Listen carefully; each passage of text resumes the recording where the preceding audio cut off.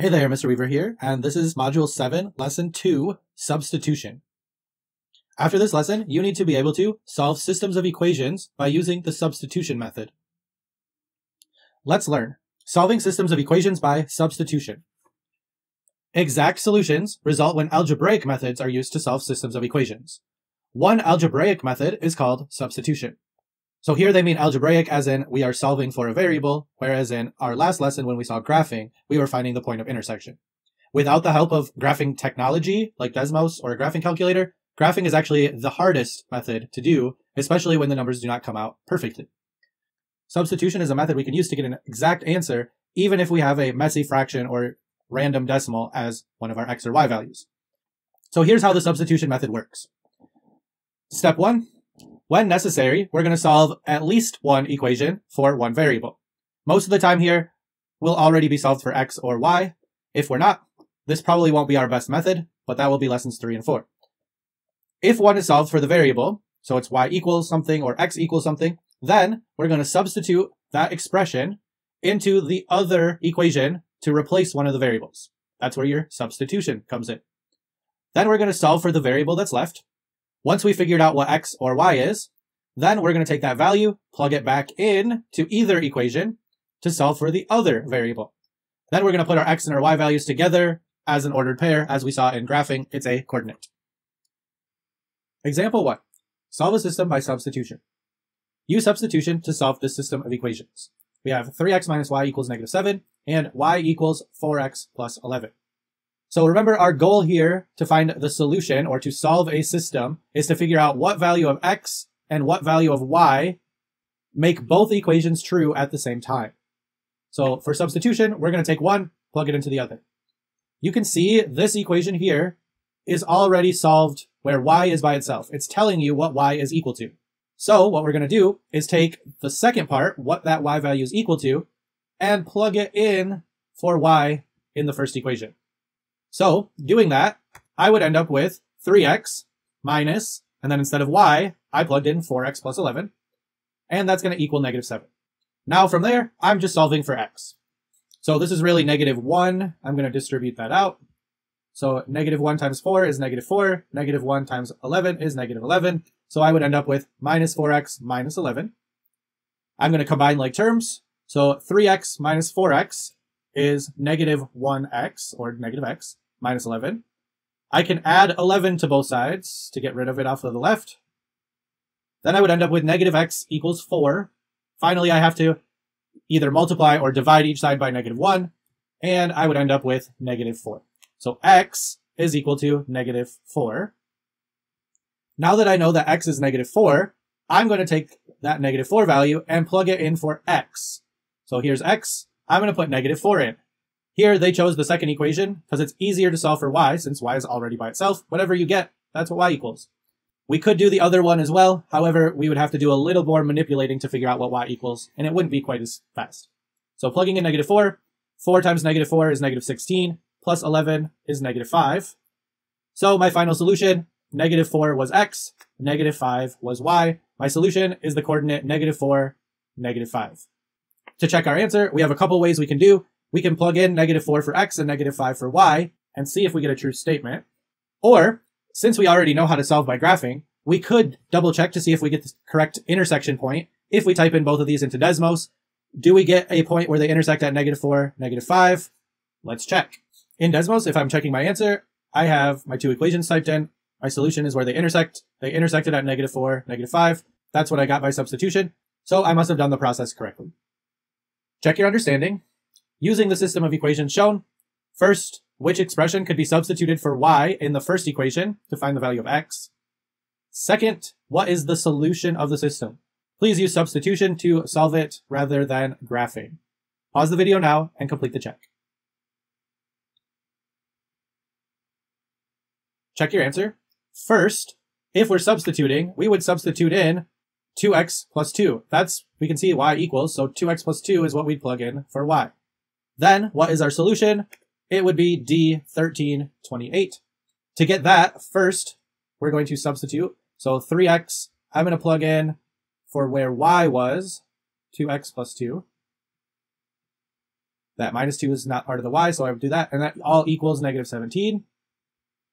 Now I'm going to distribute, combine like terms, and solve for x. So negative 2 times 2 is negative 4. Negative 2 times positive 2, oops, that had an x, is also minus 4. 3x minus 4x is negative 1x. Minus 4 is equal to negative 17. Add 4 to both sides. We have negative x equals negative 13. So dividing both sides by negative 1, x would be equal to positive 13, which would eliminate a and b. We're just left with c or d. Plugging back in, I'm going to use the second equation, 2 times 13 plus 2. 2 times 13 is 26, plus 2 is 28. So y was equal to 28, which is d.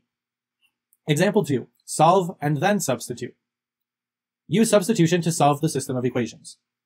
Here we're given two equations where neither of them are solved for the variable. Now, after lessons three and four, you may choose not to use substitution to solve these.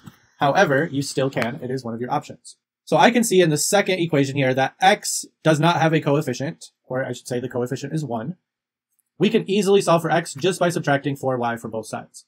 So if I subtract 4y from both sides, it's gone off the left, x is by itself, so x is equal to 18 minus 4y.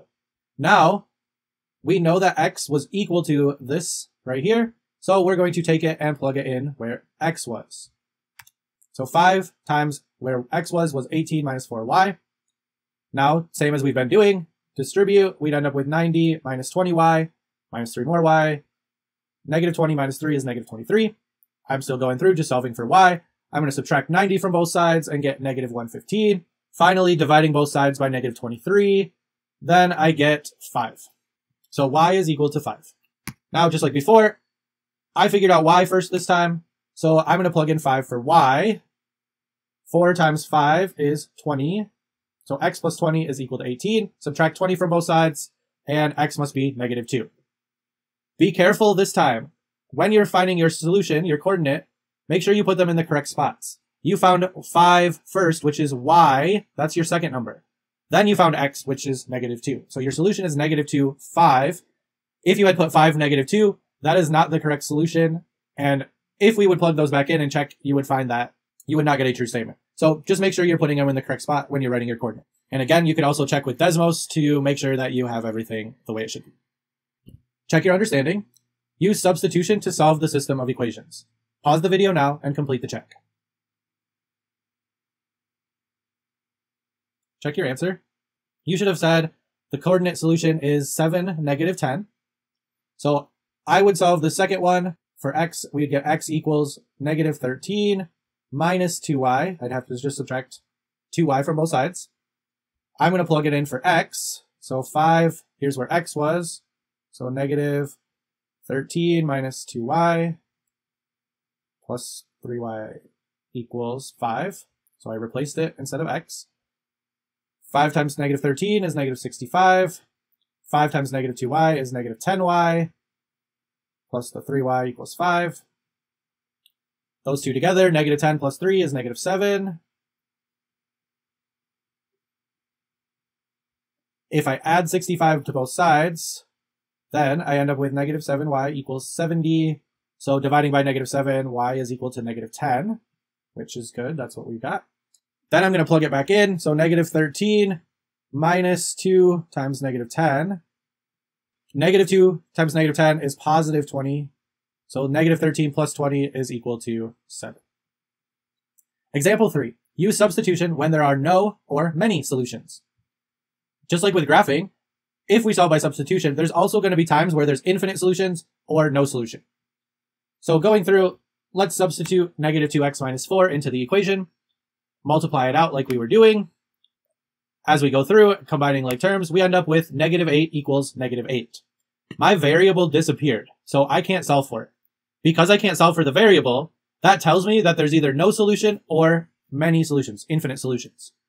This time, because the equation negative 8 equals negative 8 is an identity, right? The number equals itself.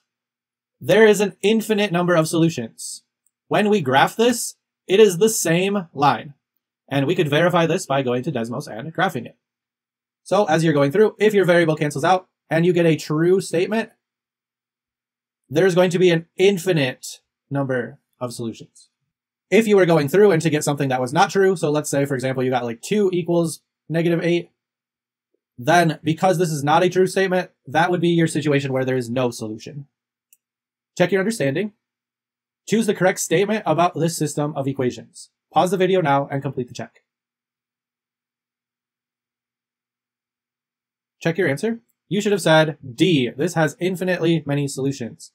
If we were to plug in, we see y is solved, so negative x plus 2 times 1 half x plus 1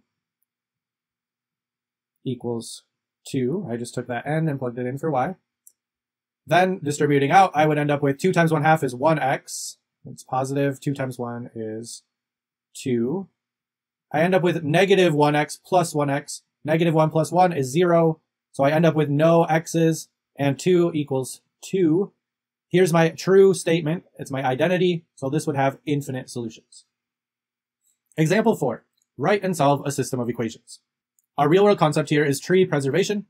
A town ordinance defines an adult tree as having a diameter greater than 10 inches and a sapling as having a diameter less than 10 inches. The ordinance requires that on a new building project, two new trees are planted for each adult tree felled, which means cut down, and six new trees are planted for each sapling felled. Last year, there were 167 trees felled, and the community planted 742 replacement trees. How many of each type of tree were felled? So for this, first we got to be able to write our equations. So A can be the number of adult trees, and T can be the number of sapling trees that were felled. So we can see in this first one here, we know there were 167 trees felled. So A was adults, T is saplings. Those two together equal 167. We also know that 742 trees were planted. Thinking about what was planted and using the same variables we did before, two adult trees and six sapling were planted to equal that 742. So our two equations would be these. Now to solve this, we can use substitution. Our first equation here, a and t both have a coefficient of 1, so either one works. Let's solve for a. So let's subtract t from both sides. a is equal to 167 minus t. If you wanted to solve for t, it would just be 167 minus a. Now let's just substitute 167 minus t in for a. Then, just like we've been doing, distribute out, we end up with 334 minus 2t. Combining the t terms, we have negative 2t plus 6t, which is 4t. Subtracting 334 from both sides, we get 408. Dividing both sides by 4, we end up with 102. So t is 102, meaning there were 102 saplings that were felled. Finally, we know that t is 102, so plug that back in. The first equation is the easiest. a plus 102 is 167, so if we subtract that 102 from both sides, a must be equal to 65. So our solution here, a is going to be like x, t is going to be like y, since that's the order we put them in in the equations. So 65 would be a, 102 t. What this means back in the context, there were 65 adult trees and 102 sapling trees that were felled. And this makes sense because they're not going to chop down parts of trees, so it makes sense that we have whole numbers. If we had got a decimal answer, then we might have to question if we did something correct or not. Check your understanding. Read through the situation to determine how many cups each type of pitcher can hold. Write the two equations first, then solve using substitution. Pause the video now and complete the check. Check your answer. You should have said that the small pitcher is 4 cups while the large pitcher is 16 cups. To get this, first we need our two equations. So it says there's two large pitchers. So I'm going to say 2L and two small pitchers. So two small pitchers. Altogether, they hold 40. So two large and two small are going to hold 40 cups. The capacity of one large minus one small is 12. So large minus small is 12. Now we got to solve. I'm going to solve for L. So L equals 12 plus S. Now I can plug that in. So I'm going to choose substitution. 2 times 12 plus S plus 2 more S gives us 40. Distribute 24 plus 2 S's plus 2 more S's.